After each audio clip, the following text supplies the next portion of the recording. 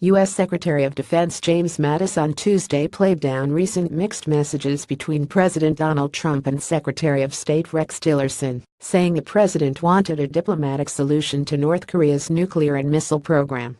Speaking at a Senate hearing in Washington, D.C., the Secretary of Defense attempted to clarify remarks from Trump, who on Sunday claimed that Tillerson was wasting his time attempting to negotiate with North Korea.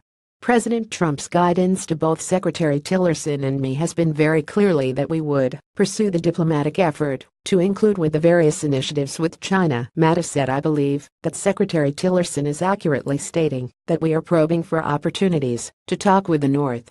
All we are doing is probing. We're not talking with them. Many observers saw the president's comments as a rebuke to Tillerson who during a state visit to China over the weekend said Washington had direct channels of communication with North Korea and signaled a possible interest in dialogue. I believe that Secretary Tillerson's remarks about probing North Korea to see if they are ready to talk was what the president was referring to, not the diplomatic effort writ large, Mattis continued. During the hearing, Senator Jack Reed also asked Mattis whether some communication was necessary to reduce risks or miscalculations that could lead to open conflict. The Secretary of Defense replied by saying that Tillerson's visit to Beijing was one way Washington was exploring an integrated effort to change the DPRK's course.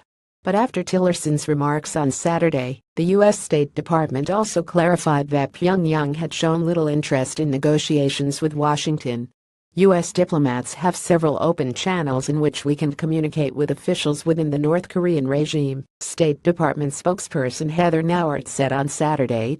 North Korean officials have shown no indication that they are interested in or are ready for talks regarding denuclearization, she added.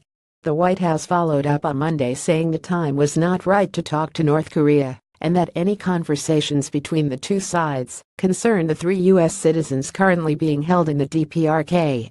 Edited by Oliver Hotham.